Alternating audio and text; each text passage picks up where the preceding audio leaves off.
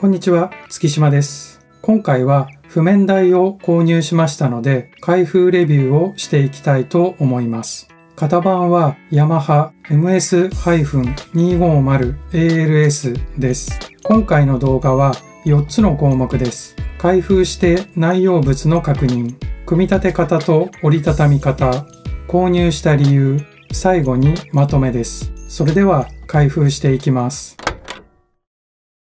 パッケージはこんな感じです。日本製です。それでは開封していきます。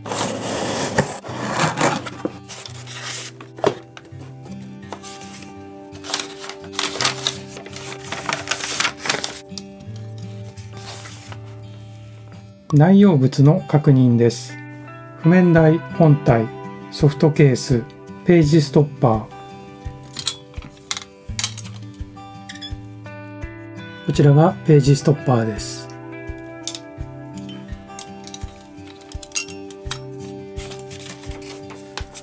取扱説明書です。こちらには図解付きで組み立て方、折りたたみ方が記載されています。次は実際に譜面台を組み立ててみたいと思います。それでは譜面台を組み立てていきたいと思います。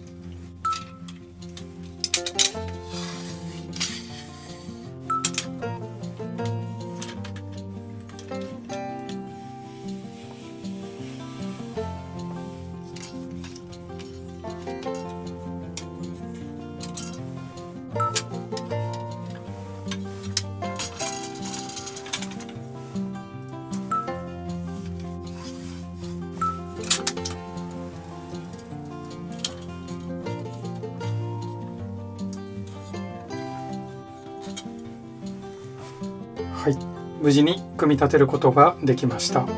譜面台各部の確認と使用です。このモデルは譜面台の角度を調節する部分はネジ式です。上位モデルではボタンプッシュ式もあります。次に支柱です。とてもしっかりしています。ネジをしっかり締めればここが揺らぐことはないように思います。力を入れて揺らしてみてもしっかりと固定されています仕様です。高さは最大で151センチ伸ばすことができます。パネルの傾斜角は60度。脚部の開きは45センチです。パネル部サイズ 45×21 センチです。譜面台の重さは約 625g です。次に折りたたんで収納してみます。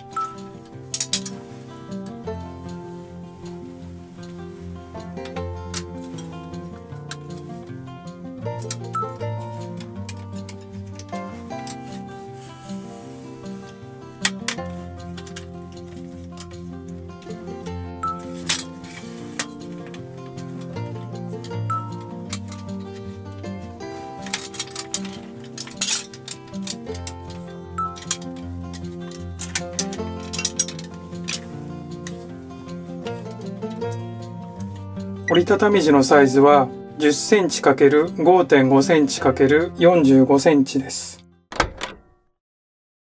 今回新しい譜面台を購入した理由はもともと使用していた譜面台が経年でガタが来始めたことです。こちらが今まで使用していた譜面台です。支柱の部分がもうぐらついてしまいます。この譜面台はもう10年以上使用しています。ちなみにメーカー名は不明です。私は動画の台本を iOS アプリのメモで作成し、動画収録の際に iPad に表示させています。そしてその iPad を譜面台に載せています。今までの譜面台に載せるとかなりグラグラしてしまい、いつ落ちてきてもおかしくないなと思っていました。据え置き型の譜面台の方が重さに強いというのも理解していますが、使わない時は収納しておきたいという希望もあるので、今回ヤマハ MS-250ALS を購入しました。また私的に地味に重要なのがページストッパーです。これです。今回どれを購入するか選んでいる時に K&M の譜面台も候補だったのですが K&M の製品にはページストッパーがありませんでしたので残念ながら候補から外れました。以上がヤマハの譜面台を購入した理由になります。